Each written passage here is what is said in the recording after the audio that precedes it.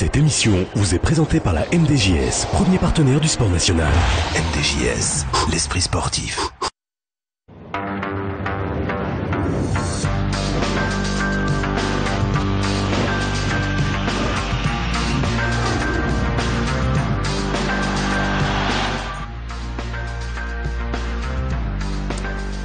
Bonsoir euh, mes amis et bienvenue à ce deuxième euh, numéro du club au menu ce soir les éliminatoires zone Afrique de la Coupe du Monde 2018 mais euh, aussi un retour sur on va dire un week-end très très compliqué pour les ténors du football européen le syndrome de Ligue des Champions est peut-être passé par là. Je ne vous en dis pas plus. Je vous laisse tout de suite, euh, mes amis, avec le sommaire de ce deuxième numéro du club. Placée dans le troisième chapeau, l'équipe du Maroc ne s'attendait pas à des cadeaux, mais pas non plus à un groupe aussi difficile. Opposé au Gabon, au Mali et à l'ogre ivoirien, les hommes d'Hervé Renard vont chercher à décrocher une première participation au mondial depuis 1998. Une chose est sûre, l'Afrique ne sera pas représentée à la Coupe du Monde 2018 de football par les mêmes équipes qu'en 2010 et 2014. L'Algérie, le Cameroun et le Nigeria, qualifiés pour les deux précédentes éditions, seront en effet en compétition avec la Zambie pour une seule place en phase finale du tournoi. Fin de semaine difficile pour certaines des grosses cylindrées européennes. Deuxième défaite de la saison pour le Barça. Quatrième match nul d'affilée pour le Real. Premier revers en première ligue de City cette saison. Le Bayern cale face à Cologne et Dortmund chute à Leverkusen. Rebonsoir donc euh, et pour ce deuxième euh, numéro euh, du club, j'accueille Hervé Penaud, notre consultant. Bonsoir Hervé. Bonsoir à vous tous, c'est un plaisir d'être sur ce plateau, vraiment, je suis, ah, je me sens bien, tout de suite je me sens bien, je sens qu'on va faire une bonne émission. On va faire une euh, très très bonne euh, émission grâce à toi, tu as fait un bon vol Super, super. Alors euh, Hervé Penaud, hein, pour ceux qui ne le connaissent pas, il sévit hein, sur plusieurs médias internationaux et notamment sur les ondes de Radio Méditerranée Internationale tous les lundis et jeudis avec l'après-match et l'avant-match. Hervé est aussi euh, l'un des meilleurs spécialistes du football euh, africain en Europe. Il tient d'ailleurs un, blog dédié au football africain, Afrique euh, en foot. Hervé, qui commence à être même très très connu au Maroc. Il est arrivé euh, tout à l'heure, euh, Hervé, euh, à l'aéroport de Rabat Salé et quand il a présenté son passeport, il lui a dit Hervé le club. Et le, gars, il n'est passé que sur la, la bande-annonce. Ah. Attendez demain soir, ah. demain. Ah oui, je, ne me balade plus après. Hein. Oh, je reste à, la maison. à mes côtés également, Amin Rahmouni. Bonsoir Amin. Avec nous aussi, Reda Lali, cette semaine, c'est Reda, c'est passé très très vite. Et on te retrouve une fois encore Déjà. Euh, sur le tabouret du club.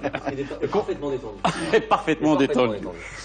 Ça va, c'est un plaisir partagé. Hein. Euh, parfaitement, oui. J'ai une petite question, euh, si tu permets. Oui, bien sûr. Où est Julie? Où est Julie? Ah bah, la réponse est simple. Julie est punie parce que bah, Julie, euh, elle m'a, elle m'a, invité. Le non, non, mais euh, euh, toi-même, tu, tu, tu, aurais fait la même chose, hein, tous. Ah, je sais pas. Alors, il y avait le soir où il y avait Atlético Madrid, Bayern de Munich. Elle nous a imposé Lugo Doretz, Paris Saint-Germain. C'est quand même. Euh... Ah bah Lugo de, ah, si, Lugo Doretz, c'est une sacrée équipe. Hein. Ah, moi aussi, il va peut-être aimer les voir, tiens. C'est une sacrée euh, équipe et Julie, on va la retrouver bien entendu la semaine euh, prochaine. Donc trêve de plaisanterie, de salam alek. On va passer aux choses sérieuses et les choses sérieuses qui commencent hein, pour nos, nos, lions de l'Atlas, les lions de l'Atlas qui affrontent ce samedi à Franceville la sélection du Gabon un test à ne pas rater euh, pour euh, les hommes d'Hervé Renard s'ils ne veulent pas compromettre déjà leur chance de qualification euh, pour la Coupe du Monde 2018 après deux décennies d'absence sur un mondial.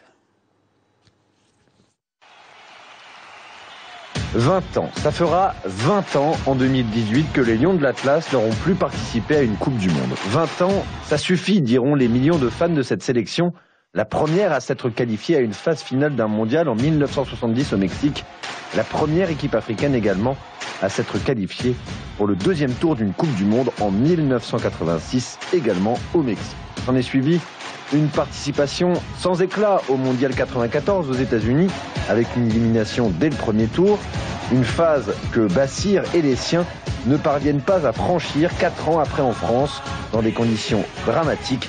Ceux qui l'ont vécu s'en souviennent encore. Depuis, plus rien, silence radio pour une équipe du Maroc qui aura collectionné les déconvenus et les éliminations, absent en 2002 et en 2006, avec une élimination lors du dernier match, parcours plus chaotique pour les éliminatoires des Coupes du Monde 2010 et 2014. Avec Hervé Renard aux manettes, les supporters marocains espèrent enfin voir le bout du tunnel et les lumières d'une Coupe du Monde. Mais la mission des Lions de l'Atlas s'annonce des plus compliquées cette fois encore dans un groupe extrêmement relevé, Côte d'Ivoire, Mali et Gabon. Les Ivoiriens, qu'on dit en fin de cycle et orphelins de leur capitaine Yaya Touré qui a annoncé dernièrement sa retraite internationale, restent un obstacle de taille dans cette route vers Moscou. Les éléphants, vainqueurs avec Hervé Renard de la dernière Coupe d'Afrique des Nations, espèrent participer à leur quatrième phase finale de Coupe du Monde de suite, après celle de 2006, 2010 et 2014. Mais le Mali, voire le Gabon, semblent aussi être des candidats au voyage en Russie. Les Maliens peut-être plus que les Gabonais, pas toujours convaincants, avec le Portugais Jorge Costa à leur tête. La priorité des Panthères reste de toute façon de briller lors de la Coupe d'Afrique des Nations 2017 à domicile. Le Gabon, premier adversaire du Maroc dans ses éliminatoires. Un match prévu ce samedi à Franceville, malgré les forfaits pour blessure de plusieurs cadres que sont le capitaine Benatia, Nabil Dirar, Mounir Obadi ou encore Soufiane Bouffal. L'équipe du Maroc se doit de réussir un exploit ou tout au moins ne pas perdre au risque de compromettre déjà très sérieusement ses chances de voyage en Russie. Voilà, et donc euh, si je ne veux pas être euh, moi-même euh, puni à mon tour, il faut absolument que je vous dise que si vous voulez intervenir hein, dans nos euh, débats, eh bien, il faut le faire euh, sur le hashtag club. Ah, bravo. C'est bon, c'est correct? Donc, euh, il avait retenu. Ah, ça fait trois minutes qu'il est en train de dire hashtag. voilà, hashtag club, hashtag voilà. club, hashtag club. Je suis loin d'être euh, à, à- à la page. L, passe elle apostrophe. L-C-L-U-B, le club. Donc, 20 ans, est-ce que ça suffit ou euh, on peut encore attendre, Reda? Ah non, on a souffert, ça force l'humilité. On a... On, a, on a beaucoup souffert. On a une génération qui n'a jamais vu le, le Maroc en Coupe du Monde. Euh, on n'est pas sorti des poules, j'ai envie de dire, depuis euh, 2004. Euh, et même, c'est pas seulement une crise des résultats, c'est aussi une crise même de, de confiance avec le public. On a du mal à remplir les stades. Euh, Il y, a y un manque de lisibilité. Il y a peu de Marocains qui sont capables de, de donner une composition d'équipe, euh, de composition de l'équipe. Fut un temps, on connaissait les titulaires, on les connaît plus. Euh, les joueurs passent et ne reviennent pas. Il y a eu énormément de, de joueurs qui ont égratigné l'institution équipe nationale par des comportements, euh, je vais pas revenir là-dessus, mais globalement, tout ça a créé un- une sorte de, de désamour, de, de méfiance. Il va falloir qu'ils qu'ils rament pour retrouver tout ça. Et encore une fois, j'insiste, ça ne dépend pas que des résultats, mais également de tous les signaux qu'on a reçus de cette équipe nationale à côté des résultats. Euh, C'est-à-dire beaucoup, beaucoup, beaucoup, je le dis clairement et, et sans joie, beaucoup de mépris pour les supporters. Voilà. Alors, 20 ans, euh, c'est euh, c'est beaucoup et c'est tout simplement euh, la, la- la- la- période la, plus longue et l'absence la plus longue de, de- depuis que le Maroc participe à la Coupe du Monde en, en 1970, sachant que le, le- le Maroc, c'était une belle histoire d'amour au niveau continental avec la Coupe du Monde. C'est la première équipe qui s'est qualifiée, euh, euh, qui a participé à des éliminatoires et qui s'est qualifiée à une Coupe du Monde. C'était euh, en, en 70, la première équipe, bien sûr, 86, euh, qui s'est qualifiée pour le, le- le deuxième tour en terminant première de, de, de- de- son groupe. Euh, quatre participations, 94, 98. Et depuis 98, silence radio, Amine. Ben oui, euh, d'autant plus qu'effectivement, avec ce qu'on a réalisé comme performance, on, on s'est de fait posé comme étant une vraie nation de football. Et on se rend compte effectivement qu'ayant près de 20% de la population qui a moins de 20 ans, effectivement, 20% de la population n'a encore jamais vu cette équipe-là, cette nation de football en Coupe du Monde. Donc je ne serais peut-être pas. Le, le- le panorama qu'on dresse est juste. C'est vrai, on parle de désamour, on parle, on, par- on parle de comportement, on parle de politique un peu, allez, on va dire un mot un peu absconce, donc qu'on n'a pas toujours très bien compris.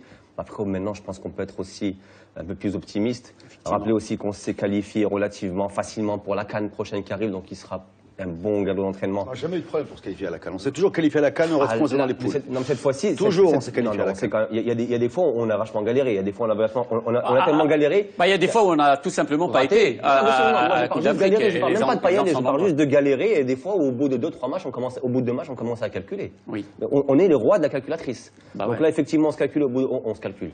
Voilà. Ah. Euh, On, on se qualifie au bout de, au bout de quatre matchs. Donc je pense que voilà, euh, c'est assez de sinistro, c'est dur. Ce que, ce que Yerel est juste, il ne faut pas le remettre Ouais. en question.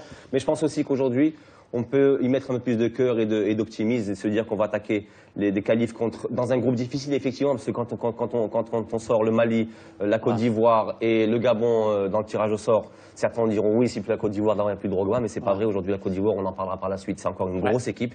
Mais voilà, il faut pas rater le premier match. On sait que c'est très difficile. Moi, je veux bien y croire parce que bon, voilà, euh, il y a peut-être des gens qui mériteraient, des gamins qui aiment le foot, qui mériteraient de voir cette équipe nationale, la Coupe du Monde. On a sacrifié, pardon, assez de générations comme ça qui n'ont pas vu de Coupe du Monde pour encore continuer. Euh, Effectivement, euh, on, on- on se doit, on est obligé d'être euh, optimiste avant d'entamer, avant d'entamer ces éliminatoires. On est d'accord avec toi, Non, Reda. non, c'est pas ça. C'est que j'ai- j'ai l'impression qu'il règne l'idée, quelque part, que euh, les performances de l'équipe nationale, ces résultats dépendent de notre enthousiasme. On a Non. l'impression qu'on est nous jugés et eux jugent. C'est pas mais ce qu'on a souvent, dit, hein. quand je vois Dirar, après un penalty, se retourner vers le public, un penalty généreux d'ailleurs à domicile, se retourner vers le public en disant mais qu'est-ce que vous faites? Quand j'entends Belhenda il y a deux ou trois ans nous expliquer que le public n'est pas à la hauteur, il y a un petit malentendu. C'est nous, le public, Ouais. et c'est eux, les, les performances, en l'occurrence les sous-performances. Mm. Parce qu'on est sans, sans doute au niveau africain l'équipe la plus en sous-performance depuis des années. C'est-à-dire que normalement il y a une corrélation avec le niveau économique, il y a une corrélation avec, euh, avec un peu le palmarès des clubs, avec, tout ça c'est décorrélé chez nous. Et très souvent, on pointe du doigt le manque d'enthousiasme, vous n'y croyez pas. Non, non, non, moi je- Ah, nous, on joue pas, Si hein. on fait une émission pour y croire, si on, si on fait appel à la foi, c'est un autre débat. Si on fait appel à la logique, ce qu'on voit sur le terrain ne donne aucune raison d'y croire. Et la logique Et en esp- alors maintenant tu veux la foi, j'espère me tromper. La logique, la logique, effectivement, Reda, l'équipe du Maroc euh, aujourd'hui, euh, si le, le football était une science exacte, bah, l'équipe du Maroc n'a aucune chance d'aller en Coupe du Monde. L'équipe du Maroc est 11e du classement FIFA. L'équipe du Maroc, est- on, a, on, on a vu ses derniers parcours aux, éliminatoires de la Coupe du Monde, euh, a été éliminée de, de- bien avant euh, l'ultime journée. On va donner euh, la parole à, à- Éclaire-nous, à- parce que tu as un à- regard à notre ami euh, Hervé. éclairer, vous allez voir. Non mais je, je comprends ce que, ce que dit c'est-à-dire qu'effectivement on a, il a tellement eu l'habitude de, de voir des échecs en série avec les, cette équipe marocaine ces dernières années. Parce que quand je repense à l'équipe de 2004 par exemple, où on se disait tiens il y a une génération qui arrive, des jeunes, ça y est, on va, on voit, on voit un, vrai beau football. En plus ils avaient joué de, manière magnifique hein, euh, durant cette canne là, et on s'était dit il y a peut-être quelque chose. Et puis finalement patatras tout s'est écroulé. Et puis après il y a eu le rebond encore. On s'est dit quand Guéret s'est arrivé, ah il y a une génération de jeunes euh, talentueux. Qu'est-ce qu'ils vont faire? Ils arrivent au Gabon, ils explosent. Alors c'est vrai qu'il y a tous ces échecs qui, au bout d'un moment, commencent à entretenir l'incertitude sur l'avenir de ces équipes. Je me dis une nouvelle fois qu'effectivement le potentiel est là, le talent est là, les infrastructures sont là, et ça c'est important. C'est vrai, euh, ce que disait Reda, à un moment, euh, c'est que vous voyez, il y a plein d'autres équipes qui n'ont pas ce type d'infrastructure et qui arrivent à s'en sortir beaucoup mieux. Donc tout ça, ça devrait faire un tout qui fait qu'à un moment, vous devez passer cette marche-là qui permet enfin au Maroc de se faire respecter sur le continent africain. Est-ce que ça va être cette fois-là? Moi, je suis assez d'accord sur les éliminatoires qui ont été intéressants. Alors, on, a vu des très très belles choses. On a senti une équipe euh, du Maroc qui était moins complexée que par, euh, le passé, parfois, quand elle jouait chez, chez les nations noires africaines. On a senti une équipe plus sûre d'elle. C'était pas évident de, de battre le Cap Vert de cette manière-là, parce que il faut C'est le match référence, ça a été le hein. match référence, match référence. absolument, absolument. Et il fallait aussi regagner le, le- ce public, parce qu'on se souvient des, des problèmes qu'il y a eu avec le public au départ. On disait même est-ce qu'il va y avoir du monde au stade? Et puis finalement, les derniers matchs, ça a pu attirer un peu, un peu de monde, grâce aussi, je pense aussi, à cet impact Hervé Renard. C'est-à-dire qu'il y a un, un entraîneur charismatique qui est arrivé, et un jeu, et quelques joueurs qui aussi ont choisi, je pense par exemple à Bouffal, de venir jouer pour l'équipe du Maroc. Et c'était important aussi. Parce qu'à un moment, ces choix-là, ça permet aux, gens de se dire, et finalement, si c'était pas le bon moment. Alors vraiment, on en saura un petit peu plus avec les premiers matchs euh, éliminatoires de la, Coupe du Monde. Ça peut aller très vite. Je- Ça peut aller très vite. Tout ça Tout peut c'est- d'accord. Tu parles de la génération 2004. La génération 2004, euh, un an ou un an et demi après, enfin, si je me rappelle bien, en novembre en octobre 2005, C'est vrai. elle, elle perd voilà, d'un but la qualif à la Coupe du Monde 2006, Ouais. euh, à cause non pas de ce, ce, ce match à Tunis, mais d'un euh, vague 0-0 fait au Kenya, si je me rappelle bien, sous le- Ouais. l'œil d'un espèce d'oiseau de, de proie qui rôdait là, comme, euh, comme un mauvais augure sur le. Et puis depuis, on n'a jamais réussi à rien construire. Mais ça dépasse les résultats. Il faut, il faut comprendre. Il, faut- il y a- il y a une question d'attitude. Il faut qu'on soit humble. Quand on passe son temps à, à- à- comme une, incont- à une incantation à expliquer qu'on a des grands joueurs. Je ne suis pas convaincu. Je suis pas Ah, convaincu qu'on qu'on a Aujourd'hui, euh, aujourd'hui, Reda, excuse-moi, mais personne ne dit qu'on a des grands joueurs. Non. Aujourd'hui, euh, l'effectif de l'équipe du Maroc, si on le compare avec la, la- la Côte d'Ivoire, la Côte d'Ivoire elle est vieillissante, mais tout de même la Côte d'Ivoire. C'est pas vrai, elle a été entièrement rajeunie, la Côte d'Ivoire. Voilà, exactement, et avec des, On a des pour joueurs de remettre Drogba, talent. mais Drogba, ça fait déjà un an et demi qu'il joue plus. donc, euh, Exactement. Et moi, je voulais aussi euh, qu'on écoute Il y a- il y a- il y a des euh, joueurs, Hervé Renard. Vas-y, Reda. Non, non, il y a, il y des- il y a une génération maintenant, la deuxième génération, de gens qu'on a beaucoup vus à l'équipe nationale, qui ont, parce que comme on change beaucoup d'entraîneurs, chacun se dit, moi je vais faire mieux que le précédent avec les Bien mêmes. sûr. Parce que s'ils n'ont pas réussi à être cadrés ou bien à donner le maximum, moi je vais y arriver. Et, et donc on se retrouve avec les, les mêmes erreurs, qui, et on construit rien. Pourquoi? Parce qu'à chaque changement d'entraîneur, on arrive avec le même groupe de joueurs qui sont de nouveau décevants et on recommence comme, une- comme, comme le, le rat qui, qui, qui- voilà. Il y a eu une petite évolution quand même sur la, depuis l'arrivée d'Hervé Renard. En plus, c'est c'est vrai qu'il y a eu l'apport des, des joueurs néer- néerlandophones, j'allais dire, hein, Ah. petit à petit, qui peuvent euh, s'intégrer dans cette équipe et donner quelque chose de différent. Maintenant, effectivement, il faut que ce lien se, se fasse et c'est pas toujours évident. Ça ne se crée que dans les résultats. Alors, on va écouter le, premier intéressé, euh, Hervé euh, Renard. C'est un défi de taille hein, pour euh, le nouveau patron des, Lions de l'Atlas, hein, qui, a réussi, et il a beaucoup de réussite en Afrique. Il a remporté deux Cannes avec la Zambie et avec la Côte d'Ivoire. Il affirme que ça va être dur dans ce groupe, avec la Côte d'Ivoire, le Mali et le Gabon, mais ça va être dur pour tout le monde. L'extrait d'un entretien qu'il a accordé au site de la Fédération, pas à nous, au site de la Fédération royale marocaine de football. C'est des matchs difficiles. On est dans un groupe euh, qu'on va qualifier de difficile, mais ouvert à tout le monde, je crois. Je pense que la Côte d'Ivoire possède un, un- grand nom en Afrique, mais c'est juste la transition entre l'ancienne génération et une nouvelle. Donc, euh, donc on peut dire que les équipes sont de, même niveau, plus ou moins. Maintenant, il va falloir le prouver sur le terrain et c'est celui qui fera le moins d'erreurs possible, qui sera le plus régulier, qui, qui, bah, sortira vainqueur de ce groupe et un qualifié sur ces quatre équipes. euh, ça va pas être facile, mais ça va être facile pour personne. Voilà donc euh, Hervé Renard. Ah oui, effectivement, c'était. Ah, ça, mon ami, il y a un grand truc en bois qui sort de la langue. là. Non, effectivement, c'est des peines. hein. Est-ce que, est-ce Oh que, là. est-ce que, euh, et je m'adresse aussi euh, à, à Hervé Renard. Alors si on a par exemple un, répondre. à- à- bah, Hervé Renard peut pas me répondre, mais euh, mais Hervé Penaud euh, peut. Mais je vais essayer de Est-ce que l'apport euh, faut pas aussi qu'on tombe dans la sinistrose avant même le début Oui, du par absolument. J'ai que l'impression que l'apport- c'est terrible. Est-ce que soyez l'apport, est-ce que J'ai l'apport, ça n'a pas pris. ça va pas marcher. Est-ce que moyennement l'apport, convaincu, hein, je peux t'assurer que j'étais moyennement convaincu. Est-ce que l'apport d'un technicien qui, qui a de la réussite, euh, qui, qui a gagné en Afrique, euh, peut être euh, allez, euh, prépondérant en vue d'une qualification à la Coupe du Monde? Ah oui, ah bah évidemment. À partir du moment où vous avez quelqu'un qui a gagné déjà, bah ça aide les joueurs à y croire un petit peu plus. Si vous avez un maître de l'échec avec vous, vous êtes plus en difficulté. Quand il arrive en Côte d'Ivoire, personne ne s'attendait à ce que cette génération euh, puisse gagner la, canne, la dernière canne. Il manquait Drogba, etc., etc. Non, non, aujourd'hui, quand même, c'est un des atouts aussi de cette équipe, c'est quand même cette personnalité d'Hervé Renard. Parce que non seulement cette personnalité, elle va jouer sur les joueurs marocains, c'est une chose. Alors on va voir comment ça va se passer durant les éliminatoires, mais elle va jouer sur les adversaires. Parce que quand vous êtes la Côte d'Ivoire et que vous rencontrez Hervé Renard, vous savez qu'Hervé Renard, il sait tout de vous, vos forces, mais aussi vos faiblesses. Et vous savez comment ça se passe en Afrique, surtout en Afrique noire, c'est que les joueurs ils vont se dire Ah, Hervé Renard, c'est vrai qu'il sait tout de nous, il, a, il a il a ce truc qui fait gagner. Et eux, ils pensent à ça. Ils se disent Hervé Renard, il a ce truc qui fait gagner.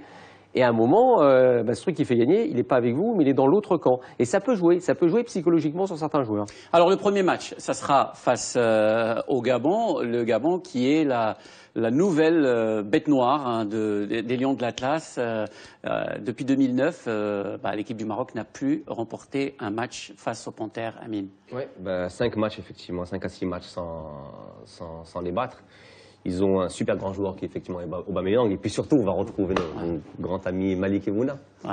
Alors Aubameyang, On va juste, quand même le juste- rappeler, ouais. juste pour l'anecdote, moi je vous ai parlé de euh, l'arrivée de- d'Hervé Penaud à l'aéroport et j'ai oublié de vous parler de- du départ d'Hervé Penaud de l'aéroport de Paris et là il a croisé un certain euh, Aubameyang. Aubameyang et son papa. Voilà. Il fait Ah, des voilà, rencontres toute la intéressantes. famille. euh, Il ouais. partait où et, moi, il- et il partait pour Bah, un, match, avis. pour un match, je crois, co- co- contre le Maroc, je crois. Ah voilà, c'est ça. C'est contre le Maroc. Pour prouver ton attachement à notre pays.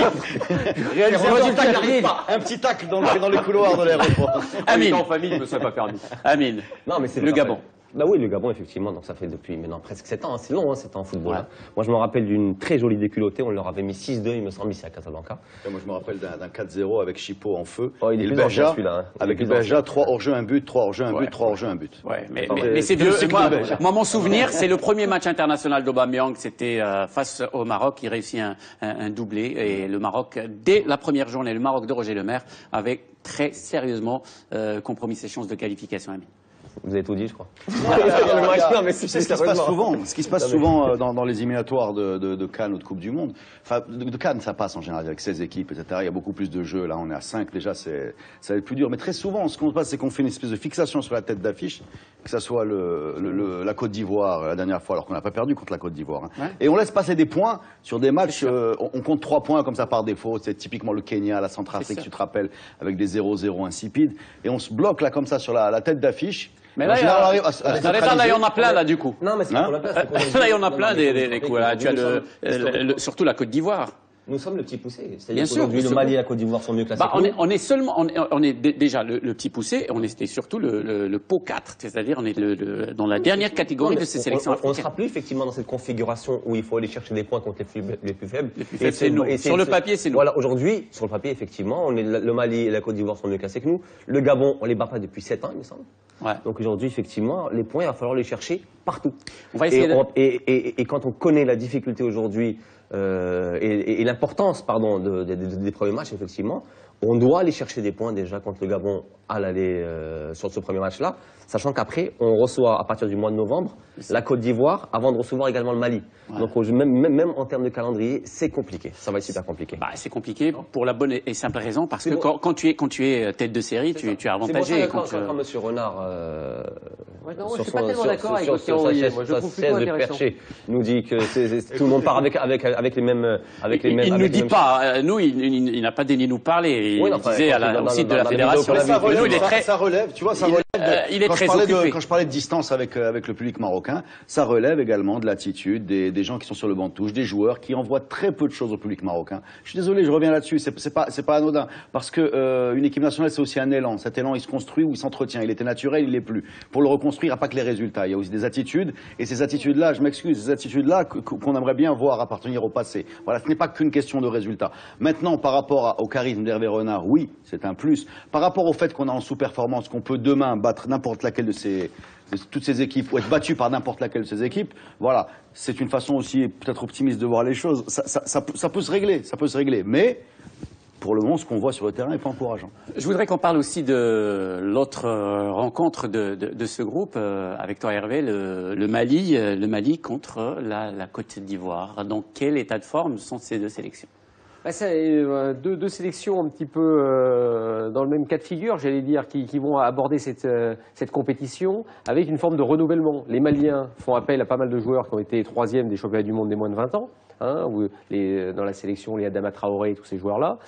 Et, du côté de la Côte d'Ivoire, c'est aussi une forme de renouvellement. Alors renouvellement qui avait déjà débuté lors d'un dernière canne, puisque la victoire c'était sans, sans Drogba, mais vous avez la perte de deux joueurs majeurs, à mon avis, de l'effectif, que sont Yaya Touré, qui, attention, n'a jamais été non plus immense sur les compétitions africaines, mais il n'empêche que c'est un personnage très important dans le foot africain, et puis c'est un personnage qui a une forme de charisme naturel hein, qui, qui déteint à la fois sur, sur ses, ses équipiers et puis même sur les équipes adverses. Et puis un joueur dont on n'a peut-être pas assez parlé durant la dernière canne, mais qui à mon avis a été capital dans, dans la victoire de la, euh, ivoirienne, c'est Colo Touré, qui derrière a été le rock absolu. Donc vous avez perdu ces deux joueurs, plus Drogba évidemment qui est plus là. Donc il va falloir reconstruire. Au- autour de qui? Vous avez Gervinho qui aujourd'hui est, vraiment la star de l'équipe. Maintenant, dans quel état physique il sera avec son, son séjour chinois Ça, c'est aussi une interrogation. Et puis vous avez quelques joueurs qui...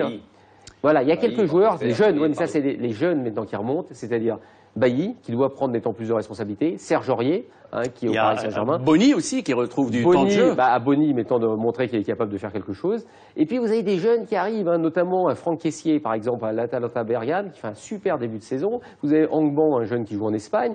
Il y a quelques jeunes comme ça qui se sont émissés. Donc c'est une équipe quand même qui a une certaine certitude, mais qui a un renouvellement qui fait qu'à un moment, il y a des interrogations. Et ils sortent d'éliminatoires euh, Cannes de très mauvaise qualité. Ça s'est joué à très peu, et notamment un pénalty non sifflé pour la Sierra Leone à la dernière minute.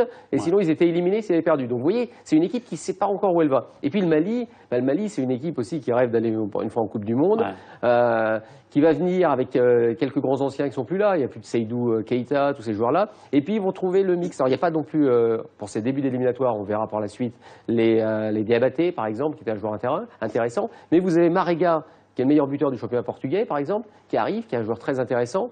Et vous avez pas mal de jeunes qui viennent de l'académie de Jean-Marc Guillou, qui avait fait un super boulot en Côte d'Ivoire, rappelons-nous, et qui, eux, ont travaillé euh, sous les ordres de Jean-Marc Guillou à 12, 13, 14, 15 ans, et qui vont être le plus pour l'équipe du Mali. Alors, est-ce que c'est trop tôt ou pas pour cette équipe du Mali? Ça, c'est l'interrogation. Parce que quand vous arrivez avec des jeunes et des plus anciens, il faut trouver le point d'équilibre. Est-ce que ce sera durant ces éliminatoires? Et puis Alain Giresse, bah aussi, il a un mauvais souvenir contre la Côte d'Ivoire, hein, puisque euh, il ne faut pas oublier que c'était contre la Côte d'Ivoire et il entraînait à l'époque le Sénégal qu'il avait été éliminé de la dernière Coupe du Monde.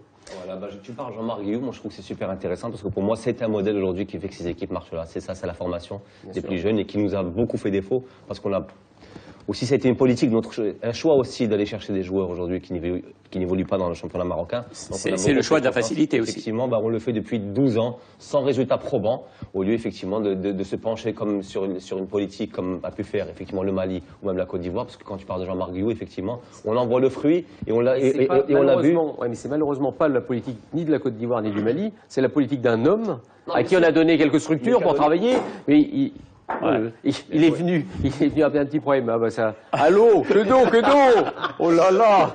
Et Donc, on disait Oui, et donc c'est un problème euh, de, euh, de politique générale, puisque Jean-Marc Guillou, il serait allé, euh, je sais pas, euh, au Maroc par exemple, on lui aurait donné des structures pour travailler, il aurait travaillé au Maroc. Il, il serait allé était en Algérie, mais il, a pas eu la- Algérie. il était en Algérie, il n'a pas eu la même, la même réussite. Oui, mais il y a eu quelques très bons joueurs. Ben Sebaini, par exemple, le joueur qui joue à, à Rennes, est un très très bon joueur. Il y a aussi quelques, quelques joueurs qui vont sortir. Mais en Côte d'Ivoire, effectivement, et au Mali, il a réussi à faire un, un truc assez incroyable. Donc maintenant, on va voir ce que ça va donner à l'échelon supérieur. On va poursuivre euh, nos débats dans la seconde partie euh, du club avec euh, bien sûr toujours ces, éliminatoires zone Afrique de la Coupe du Monde avec notamment notamment un, palpitant groupe de la mort, le groupe B avec l'Algérie, le Cameroun et aussi le Nigeria et la Zambie. On se retrouve dans un instant.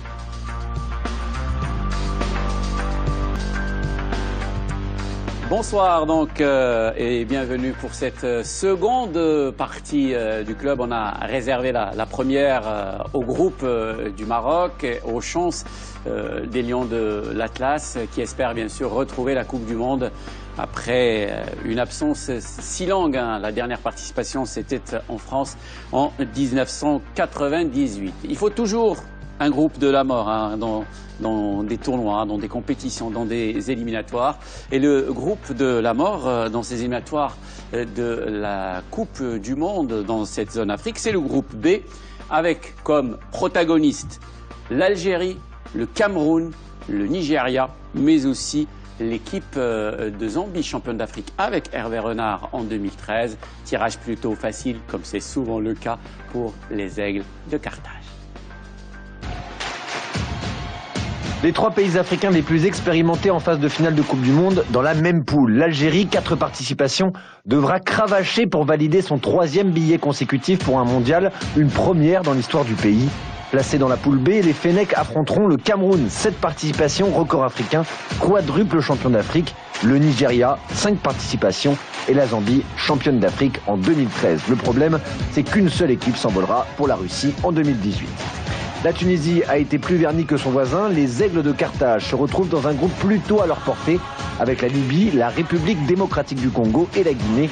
Les hommes d'Henri Kasperzak doivent toutefois se méfier des Congolais, troisième de la dernière canne et vainqueur du Chan en 2016. Pour les Guinéens, aller en Russie sera un exploit digne de celui des Angolais et des Togolais, qualifiés à la surprise générale pour la Coupe du Monde 2006 en Allemagne. Voir le Sili en 2018 paraît difficilement imaginable. La Guinée ne s'est même pas qualifiée pour la Cannes 2017. Mais qui sait? Dans le groupe D, les Sénégalais auraient pu aussi connaître pire sort. Les Sud-Africains, les Burkinabés et les Capverdiens seront leurs adversaires. Enfin, le groupe E, Ghanéens et Égyptiens seront favoris face au Congo-Brazzaville et à l'Ouganda. Voilà, donc on va euh, retrouver dans le, même groupe euh, les trois sélections les plus expérimentées en phase finale de Coupe du Monde et euh, aussi les trois sélections qui étaient à la dernière Coupe du Monde. Donc on, on va pas les retrouver. On va retrouver une sélection, une qui se qualifie. Ah là, c'est vraiment le groupe. C'est mathématique, hein. Ah oui, non, c'est le groupe où il fallait pas être. hein. Et la Zambie, il va être content. hein. Il va dire, on est à peu près sûr de pas y aller, quoi.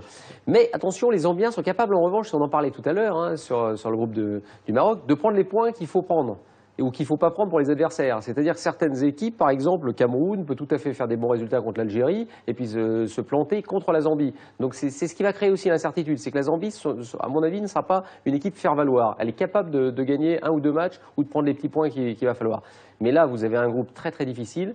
Et euh, l'Algérie, qui pendant très longtemps avait beaucoup de difficultés quand elle devait s'exporter. Elle était très très bonne contre les équipes euh, maghrébines, mais elle avait plus de mal, ou même euh, euh, tout- toutes les équipes qui qui, qui, qui- qui étaient pas très loin de, chez elle. En revanche, dès qu'il fallait jouer sur des terrains un peu difficiles, sur des équipes contre des équipes compliquées qui jouaient très dur, très physiques, dans des conditions plutôt compliquées, avec des accueils un petit peu par moyen, hein, pour un peu les mettre dans des, des conditions justement difficiles, et ben les Algériens, ils avaient du mal à développer leur jeu. Sous euh, Vaïd Eliozic, ils avaient réussi à trouver quelque chose qui a permis enfin à l'Algérie d'être l'équipe qu'on a découverte ces, ces derniers temps, mais on se rend compte que l'Algérie n'a jamais fonctionné en Coupe d'Afrique des Nations.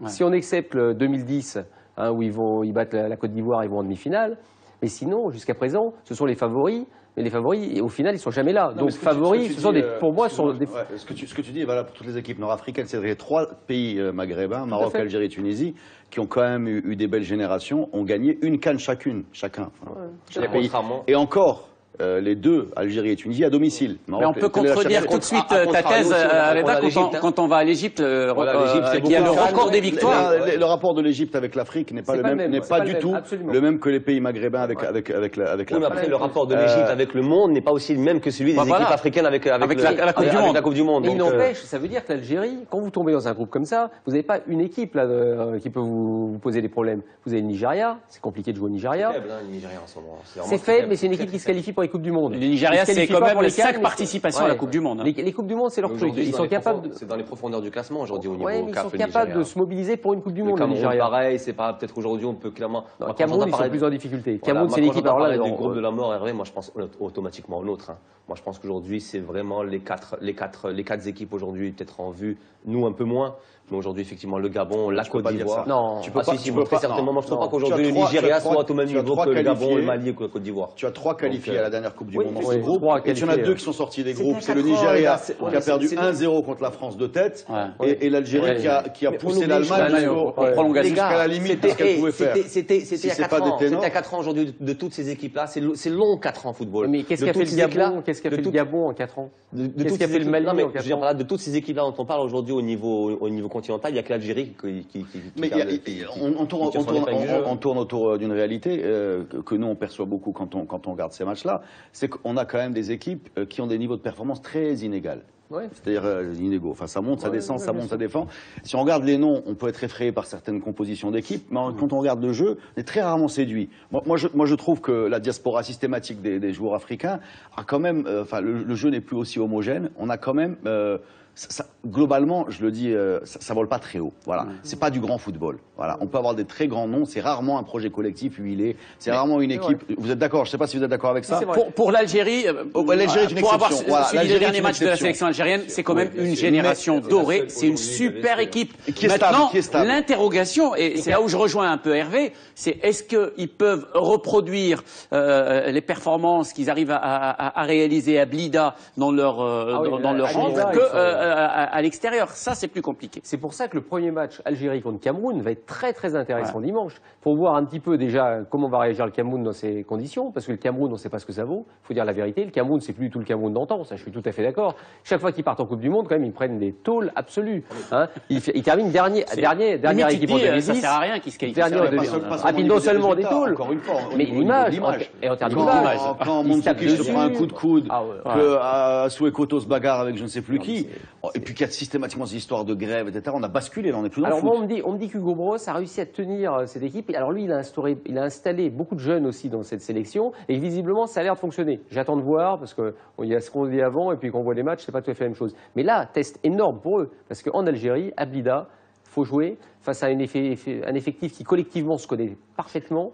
Euh, et puis surtout, alors pour l'Algérie, il y a un truc aussi, c'est que le, le président de la Fédé a fait qu'à un moment, vous avez, il a tissé un, un lien et puis un fil conducteur qui fait qu'aujourd'hui, c'est une équipe qui a, qui, a, qui a un passé, qui a un présent et qui espère avoir un avenir. Alors trop souvent, ça a été des changements successifs, mais quand vous changez, vous changez tout. Alors que là, on se rend bien compte qu'on garde quand même les mêmes joueurs, il y a une structure qui est là. Et c'est peut-être aussi ces changements dont parlait Reda tout à l'heure qui fait qu'en termes d'attrait, en termes de, de, de groupe homogène, De lisibilité. on n'a pas effet- De de lisibilité on aussi, on n'a pas effectivement quelque chose de relativement pérenne sur le temps. Et que ce qu'on a en Algérie, maintenant qu'on ne le veuille pas, effectivement, je trouve que l'Algérie, ça reste l'une des meilleures équipes continentales. Et on la voit quand même un cran au-dessus des trois autres équipes. Euh, Amine, vous m'avez demandé de, de faire le perroquet et de dire euh, si vous voulez intervenir euh, sur le hashtag euh, sur le hashtag club. Alors, qu'est-ce qui se passe sur le hashtag club? Euh, ben, les gens interviennent. Interviennent. Alors, Donc, le- Donc, ouais, ouais. Donc, mais tu nous passes que, que les gens qui sont sympas, qui disent. euh, Ils sont tous sympas. que non, c'est très, super. très honnêtement, Voilà. t'es adoré, Jalel. Merci une icône, Jalel. Non, mais l'icône, c'est lui, l'icône des aéroports. non, L'icône c'est- des aéroports. c'était pour toi. Il y a- Samed qui nous dit que le Nigeria est une équipe très prometteuse. D'accord Euh, Après, bon, Faisal nous dit que ça va être ouvert à tout le monde sauf à nous. C'est un peu. Oh, là, pessimiste. c'est- alors là, on est dans C'est un le- copain, la c'est un copain Reda, Reda. C'est un copain Reda. Voilà, Logique donc, Reda, ça. Voilà, donc il y a, il y a Simone Non, aussi non, qui. non, je, peux, je peux répondre à ça, s'il vous plaît. Ah, mais il faut assumer aussi. Non, non, je, vais vous résumer le fond de ma pensée. On est euh, moins bon que ce qu'on croit, mais meilleur que ce qu'on meilleur que voit. ce qu'on voit. Voilà. Merci beaucoup. Ah, c'est bien dit. Bravo. Ah, bravo. bravo. Bravo, Et Je vais l'enregistrer et dès que je vais passer sur un plateau en France, je dirai ça. On est meilleur. Ah, mais il faut- que- il faut- non, Eh. Non, non, mais c'est Ah, vrai. Il faut l'enregistrer parce que tu Ah, l'as déjà oublié. j'ai-. On est. Il est sympa, Alors, on est meilleur que ce qu'on ah non, que ce qu'on qu'on croit, Et moins mais bon moins bon que ce qu'on voit. Non, le contraire. Non, c'est le contraire, c'est le contraire. C'est tout à fait le contraire. Tu nous as embrouillé, euh, embrouillé Hervé. Alors, donc, Simoni Ah, c'est pas moi. Il y a un Simoni qui dit qu'avec cette équipe, il faut attendre. Il faut espérer le bien Ouais. et attendre le mal. C'est très pessimiste tout ça, je trouve. hein. Ah mais c'est Donc, vous on est- fond de vérité. donc Ouais, Simoni qui, qui, qui, qui surfe un petit peu sur tout ça, qui dit qu'il est content de, de retrouver Reda Al-Lali. Ah, gentil, Euh, euh. Faisal qui dit qu'il faut battre les grosses équipes pour aller en Coupe du Monde. Ah, je pense qu'il faut ça. déjà battre sélection dans ton groupe, etc., etc., etc. on va parler aussi, euh, bien entendu, de l'autre sélection euh, Je- je- maghrébine. je- veux dire une Reda. phrase euh, Oui. euh, positive et optimiste. Si on se qualifie en Coupe du Monde, j'ai aucun doute qu'on va faire une grande Coupe du Monde. On va la refaire différemment. Quand on se qualifie en Coupe du Monde, Alors, Non, non, si on se qualifie, voilà. en phase finale, Mais- en phase finale, j'ai confiance. Mais on n'a pas dit juste une chose sur le Maroc quand même qui est importante. C'est le nombre d'absents sur ce premier match. Parce Bah que ouais. là, malheureusement. Non, mais ça change rien. De toute façon, Ah, on, si, on s'habitue à personne. Non, non, non, mais quand, quand il manque, dire à Non, non, faut- Obadi, faut pas nous lancer sur Bouffal- ce- Non, Non, non, non, mais c'est- là-dessus. non, non, mais c'est très important. lance pas Il faut bien, Parce non, qu'il il faut faut bien lancer un comprendre. débat sur le, sur le, sur le Voilà. véritable intérêt de ces personnes-là au sein de l'équipe nationale. Voilà. Et le rapport, Oui, oui, oui, ces dernières années. Hervé, quand on regarde tous les matchs de l'équipe nationale, il y a quasiment personne qui est indispensable. C'est-à-dire Oui, qu'on a des joueurs qui disparaissent, on s'en rend même pas compte. Oui, mais il faut, faut quand même créer sur un groupe et puis jouer. Oui, euh, il faut un minimum d'habitude. Le- C'est un sport collectif. même. va passer le sujet. Je suis Ouais. désolé, mais il faut dire. Rapidement. Je crois que c'est- notre drame. C'est qu'aujourd'hui, nous avons tellement bâti de choses et d'espoir sur des noms, des noms souvent ronflants. C'est pour ça qu'on dit que cette équipe du Maroc a une grande équipe, effectivement. Elle a passé de grandes générations. On a eu vraiment eu de, de- de bonnes générations Ouais. et de joueurs qui brillaient en club. On a tellement bâti. Oui, on, a, on a tellement bâti, on, on a tellement bâti nos espoirs sur ce genre de choses que nous avons été tellement déçus qu'aujourd'hui, je pense que c'est plus la marche à suivre. Amine. Aujourd'hui, on peut plus se permettre de se dire est-ce qu'on on, on a un Benatia, un Ziyech, un Bouffel, donc effectivement, nous avons une grande équipe, on va aller en Coupe du Monde, c'est pas vrai. Donc, il n'y ait pas Bouffel et Benatia sur ce match-là, je pense qu'en vrai, d'accord, ça ne changera pas grand-chose. Ah, La Tunisie. On va parler On aussi de, de, de, de, de la On est Tunisie. Ah, Comme, comme souvent, mais rapidement. Ah, Est-ce qu'on est obligé On est obligé. La Tunisie, euh, verni, plus verni que le Maroc, plus verni que, que, que, que, que l'Algérie, comme souvent. Alors Libye, Guinée, et que- peut-être le danger viendra de la République démocratique du Congo. Attention, attention. Là, vous voyez déjà les Tunisiens en Coupe du Monde. Moi, je vous dis, c'est peut-être la Coupe du Monde de la RDC. Parce que la RDC, c'est une équipe qui est en train de progresser, un super entraîneur. Alors là, pour le coup, c'est un entraîneur qui a, qui a pris cette équipe. Ibangé. Ibangé, Florent Ibangé, qui a eu des difficultés pour venir travailler en Afrique, vous pouvez même pas imaginer. Lui, il a même envoyé des CV partout, personne n'en voulait. Il faut rappeler, hein, euh, c'était l'ancien entraîneur de- de- du TP Mazembe. Hein, Ah, du TP Mazembe, hein. euh, de Vita Club. De Vita Club, pardon, Club, de de Vita Vita Club. Et, et, euh, lui-même, il m'avait raconté une fois, pour vous dire les difficultés qu'il avait, il avait même envoyé des, bon, des mots partout pour savoir est-ce que je peux travailler, parce que lui, il avait fait ses, ses- ses classes en France. Et euh, il avait envoyé donc un mot à FIFA, euh, à la- à la CAF, pour dire mais est-ce que si je suis noir, j'ai le droit d'entraîner une équipe en Afrique? Vous voyez, Ah, c'est quand même incroyable, c'est tellement, Ouais. il ne pouvait plus. Et à un moment, on lui a donné un On petit peu non. sa chance. Il Il a a, répondu non. eh, quasiment. Non, Et à un moment, on- il a, il a pris donc Mais non, un club et après on s'est rendu compte que c'était un, un type, un potentiel incroyable, super personnalité.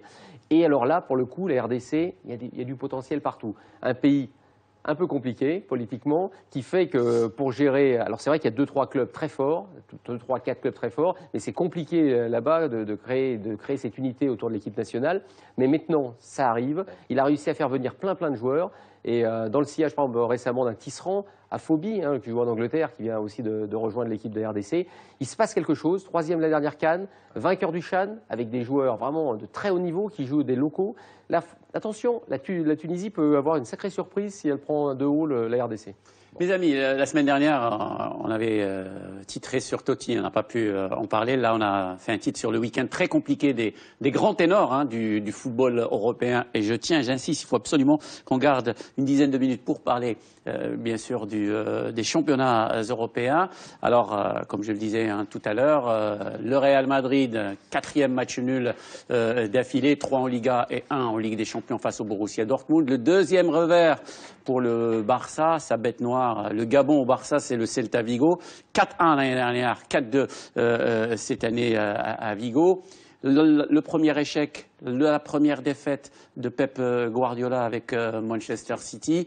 Et puis, même le Bayern, qui gagne tout le temps, bah, même bah, Bayern a fait match nul face à, Cologne et le Borussia Dortmund qui s'est incliné face à, à Leverkusen. Est-ce que on peut parler du parce qu'on parle souvent, surtout en Espagne, du syndrome FIFA. Hein, C'est-à-dire quand euh, euh, quand il y a une journée d'éliminatoire euh, pour par exemple le Barça ou le Real Madrid et surtout pour le, le Barça, les joueurs font des voyages jusqu'en Amérique latine, reviennent. Souvent les résultats là. sont sont, euh, sont pas bons. Là pour pour les, les ténors européens, et c'est rare que que tous les les grands d'Europe aient des mauvais résultats en un seul week-end. Ouais, c'est- plutôt rare, mais ça, ça prouve simplement que déjà il y a peut-être un, un rétr- rétrécissement dans de, de la différence en- de niveau entre les, les- les très gros des championnats et puis leurs adversaires, parce que chacun progresse après tout.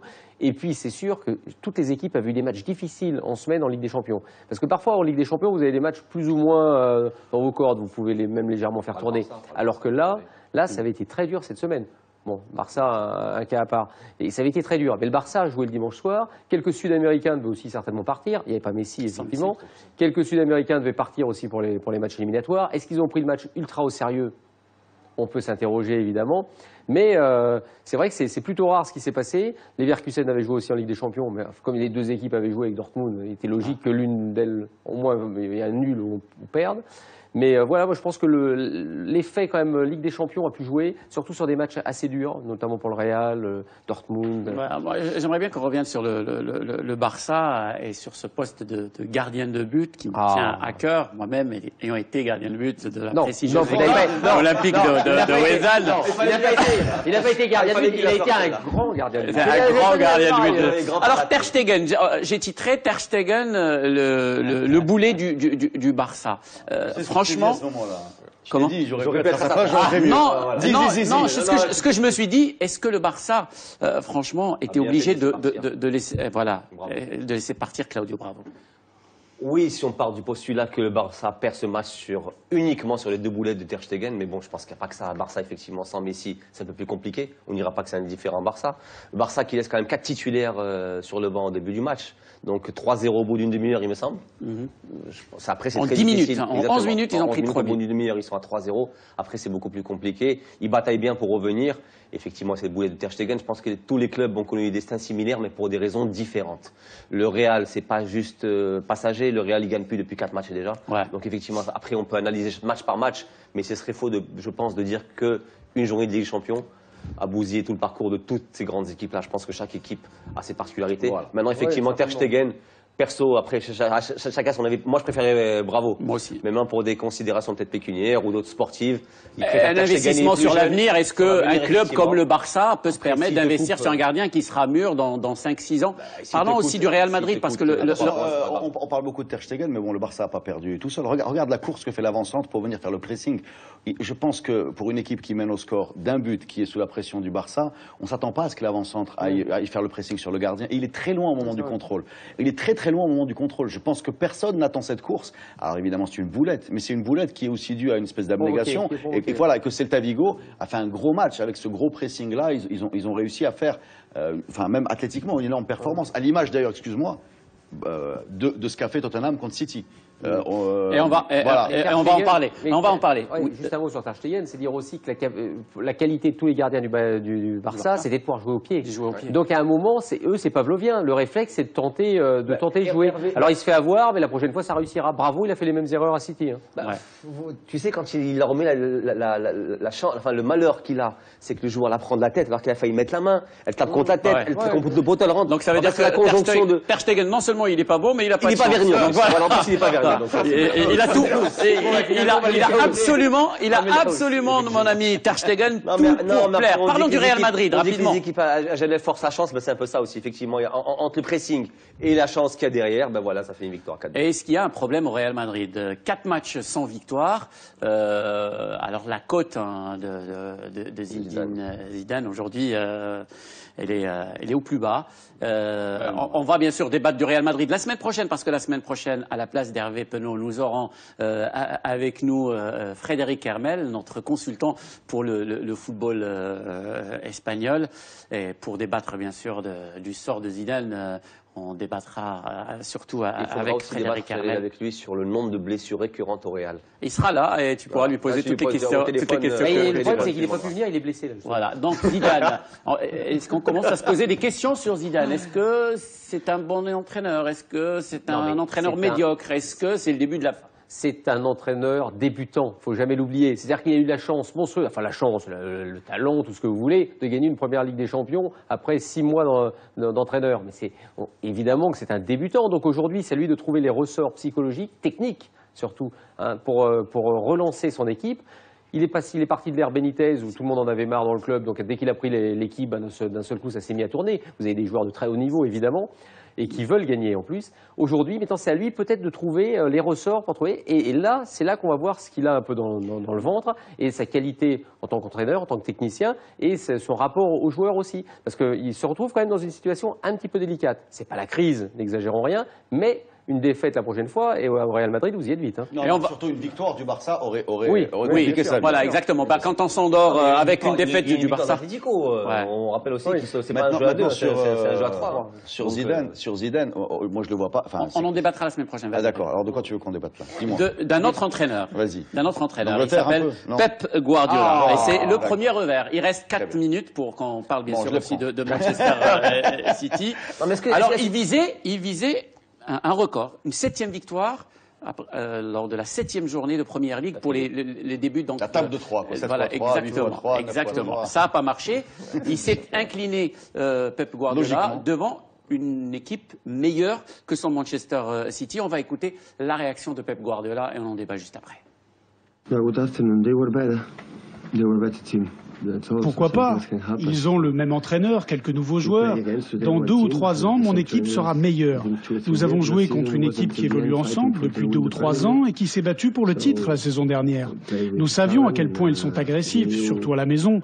C'était difficile car nous avons eu des problèmes pour contrôler notre jeu. Nous avons perdu tellement de ballons dans des positions dangereuses. And of course, it was difficult because voilà donc euh, très très fair play euh, on a perdu contre meilleur que nous Euh, les- il y, a- il y a eu- il y a eu deux matchs hein, de, de City où ils ont un peu calé, ils ont fait un, un- un match nul en Ligue des Champions, Ouais. et cette défaite contre Tottenham, qui était logique hein, quand on regarde le match, grosse performance athlétique de Tottenham, il y avait un petit peu de, de Simeone dans, dans Pochettino, Ouais. dans le sens euh, un peu l'école argentine de, de, de grosse grinta. Et on a l'impression que les équipes qui battent les équipes guardiolesques se ressemblent. C'est-à-dire pressing haut et une grosse, grosse présence athlétique et un jeu très direct vers l'avant. Ça, ça, ça, ne remet rien en cause. On, on a l'impression, que tout euh, c'est ça ce qu'il apporte, euh, Pep Guardiola, à, tous les championnats où il, euh, où il a travaillé, c'est que les équipes s'adaptent à son jeu. Parce qu'il est dogmatique, c'est-à-dire qu'on sait comment il va jouer. Le, Tottenham, il joue pas comme ça. Non, il joue comme ça contre le club Il arrive de Pep et il pose un problème au championnat. Il dit voilà comment je joue, tout le monde sait comment je vais jouer, j'ai même pas de plan B, je suis dogmatique, c'est-à-dire je vais aller au bout avec mes idées.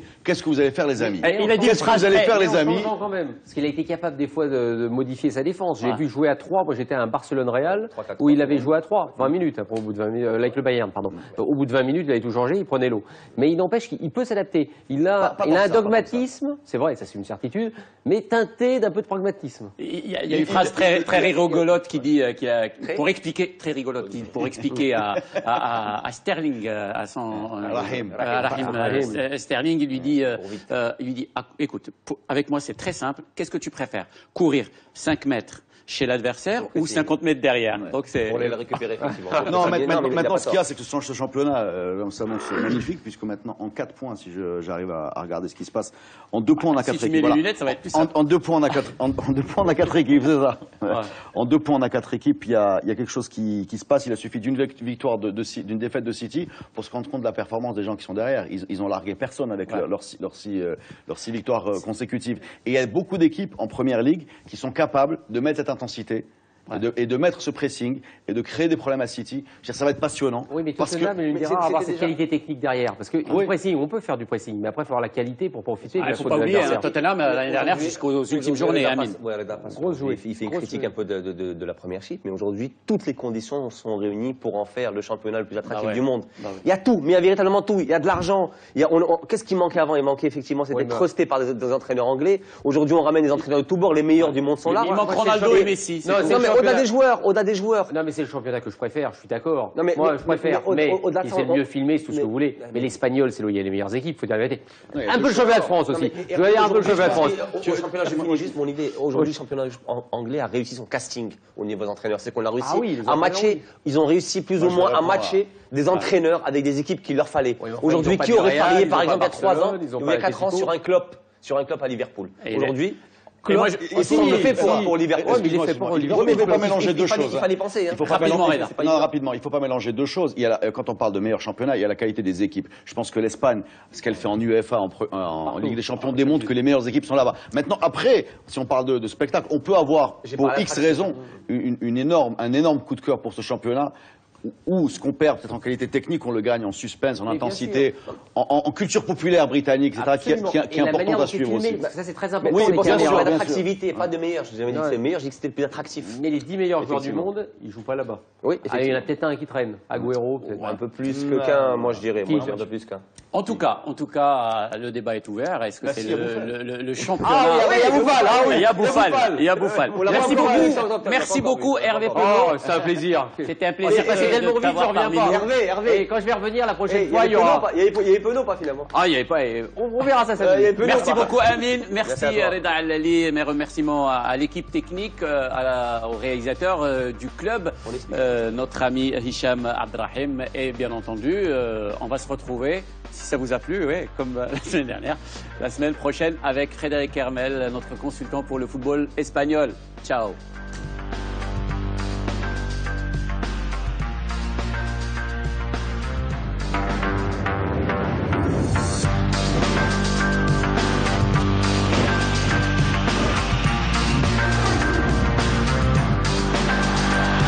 Cette émission vous est présentée par la MDJS, premier partenaire du sport national.